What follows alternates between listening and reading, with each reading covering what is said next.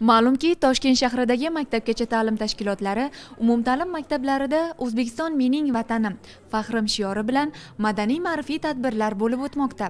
Ushbu tadbirlar doirasida tumandagi to'rt yuz ellik uchinchi maktabgacha ta'lim tashkiloti tarbiyalanuvchilari uchun ur to'qmoq xalq ertagining spektakli namoyish etildi. Ertaklar yaxshilikka yetaklar deydi dono xalqimiz.